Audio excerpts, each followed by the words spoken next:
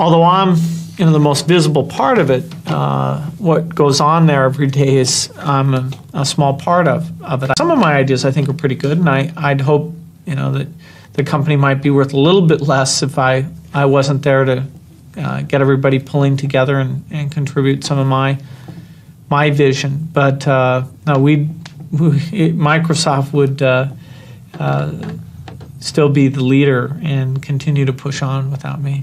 I really like uh, what my vision of what computers can be, and some kind of involvement in that is is uh, what I see for my future. I mean, it's it's good to uh, become an expert in a field and you know drive it forward and, and stick with it, and it's really that rather than uh, the size of the opportunity that's that's always made it so much fun for me.